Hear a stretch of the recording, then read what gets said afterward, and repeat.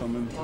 And um, that's good for the team, of course. He's a fantastic player and he showed um, what he's capable of doing and um, I'm sure there'll be many more moments like that from were him. you, were you in that England team when he scored the four in, uh, in Stockholm? No, I wasn't. Did you not So, that? no, I didn't play, thankfully. But, I mean, being able to produce magic like that is just exactly what United need, isn't it, really? Yeah, of course. I've seen him do um, special things throughout his career, so I'm sure he'll, he'll do that for us um, this season. And he's, a, he's a fantastic player. I think he's, he's a great turner for us and a lot of experience um, and a successful player for us been. So hopefully he can be successful here with us. You've only trained with him for a couple of days. What's, what's he been like in the dressing room so far?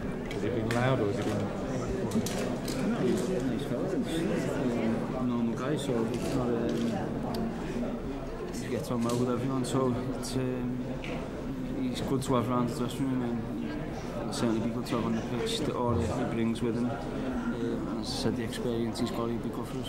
When you're glad that you didn't go for half time because the manager made a few changes, you, you had a chance to play again and, and, and did yourself. Are you glad that you didn't get the chance in the second half and you weren't taken it for half time? That was always the plan. So um, yeah, I, I didn't know. Yeah. Yeah, so it's not a matter of. I think the important thing is minutes. Um, in these games, of course, you want to win, but the important thing is getting fit and ready for the start of the season. So that was the plan. that the lads who come off at half time, um, they haven't been in for as long as, as we have, so um, that's why they went off. Obviously, obviously Zlatan will get the headlines, Wayne, but Marcus Rashford's um, sort of kind of uh, contribution second half was outstanding, wasn't it? Yeah, it was, and his movement was great. Um, and you can see he causes problems for defenders with his pace. So um, he played really well when he came on, um, contributed in, in some of the goals, and probably last so far as the season. Do you think you'll be playing that position this season? Is that the position you want to play in number 10?